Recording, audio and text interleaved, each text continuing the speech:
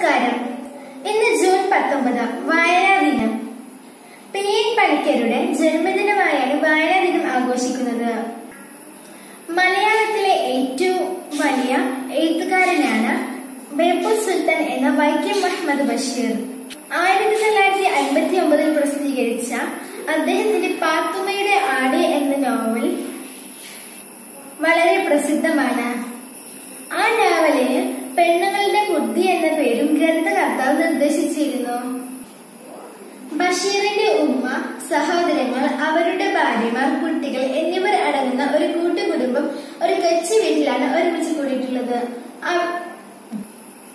അവിടെ നടക്കുന്ന ദൈനംദിന സംഭവ വികാസനങ്ങൾ തന്റെ സ്വന്തമായ ഭാഷയിൽ വർണിച്ചിട്ടാണ് ബഷീർ നോവൽ എഴുതിയത്. വീട്ടിലെ കുടുംബാംഗങ്ങൾ മുതൽ സഹോദരിയുടെ ആട് വരെ ഈ നോവലിലെ കഥാപാത്രങ്ങളാണ്. പ്രത്യേകതകളും സവിശേഷതകളും നിറഞ്ഞതാണ് പാത്തുമ്മയുടെ ആട്. കണ്ണീരിനെ പൊട്ടിച്ചിരിയാക്കി മാറ്റുന്ന പല പല കുസിദ്ധികളും കഥയുമായി നീളം വന്നു പോകുന്നത്. ഈ നോവൽ വായിക്കുമ്പോൾ ഒരു വ്യത്യസ്തമായ അനുഭൂതിയായിരിക്കും വായനക്കാർക്ക് ഉണ്ടായിരിക്കുക.